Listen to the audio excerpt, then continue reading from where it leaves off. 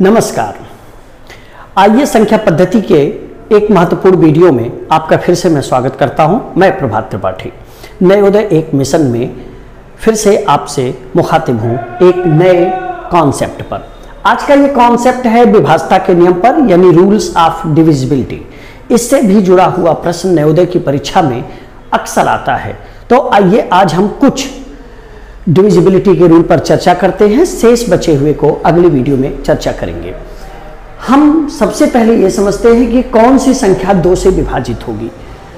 यानी अगर कोई संख्या जिसके इकाई स्थान पर शून्य, दो, चार छ और आठ आती है तो वो संख्या दो से विभाजित होती है।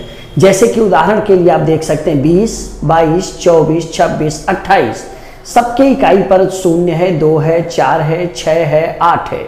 अगर किसी भी संख्या के इकाई स्थान पर यह है तो ये दो से विभाजित होगा। जैसे एक और उदाहरण ले लेते हैं। छह, सात, आठ, नौ, पाँच, चार।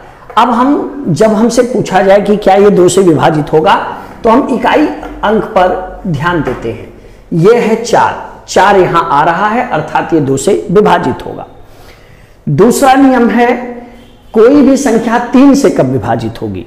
और कोई भी संख्या तीन से विभाजित तभी होगी जब उसके अंकों का योग तीन से विभाजित हो जाए। जैसे चेक करते हैं इस संख्या को। एक, दो, तीन। मान लीजिए हमसे पूछा गया कि क्या ये तीन से विभाजित होगा? तो हम सबसे पहले क्या करेंगे? इनका योग ले लेंगे।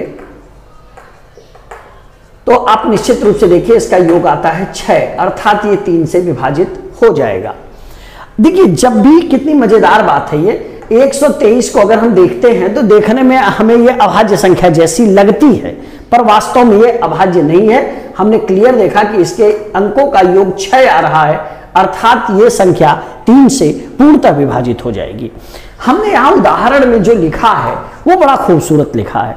अब देखिए, मैंने पहला उदाहरण लिया है 111 यानी एक एक एक। हम मैंने वही कहा फिर आपको धोखा हो सकता है कि ये संख्या भी आपकी जो है, ये अभाज्य है।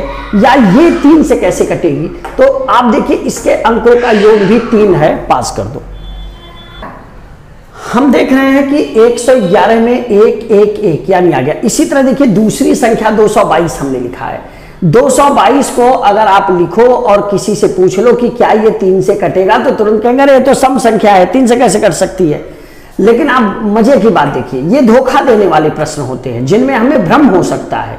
आप देखिए, इसका जोड़ आ रहा है सिक्स यानी ये भी जो है, तीन से विभाजित हो सकती है। अच्छा सम है तो दो से भी विभाजित हो जाएगी। तो ये अगला बिंदु देखिए, वही लिखा है मैंने कि अगर कोई संख्या दो से भी विभाजित हो और तीन से भी विभाजित हो तो वो छह से विभाजित हो जाएगी, जिसका सबसे अच्छा उदाहरण आपका 222 है। क्योंकि आप देखो, ये सम संख्या है, अर्थात यहाँ के नियम से ये दो से विभाजित होगी। अंकों के योग के नियम से ये तीन से विभाजित होगी, यानी 222 444 जरा इसको भी चेक कर लेते हैं। चार चार चार, ये आ गया बारह।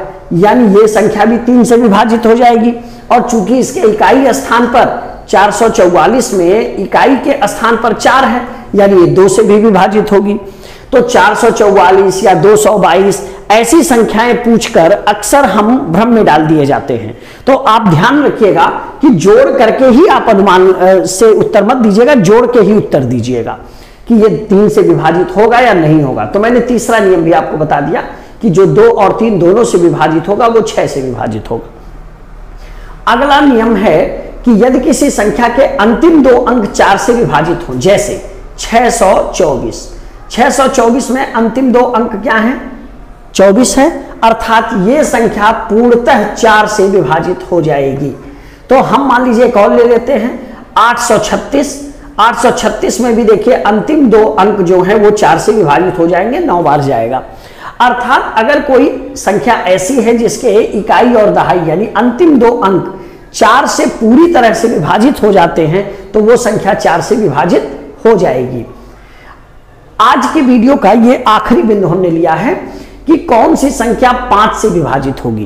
तो जिस संख्या के इकाई स्थान पर शून्य हो या इकाई के स्थान पर पाँच हो, शून्य हो या पाँच हो यह संख्या पूरी तरह से पाँच से विभाजित हो जाएगी।